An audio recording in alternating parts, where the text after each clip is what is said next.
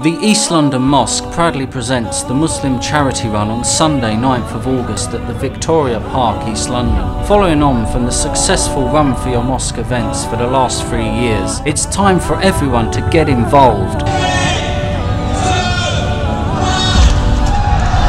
So this year, you choose your charity that you want to run for. Walk, jog, or run. It doesn't matter as long as you're having fun. Don't miss this opportunity to take part in the biggest fun run of the year. Join us with your family and come and have some fun. For more info and to register online, visit muslimcharityrun.com.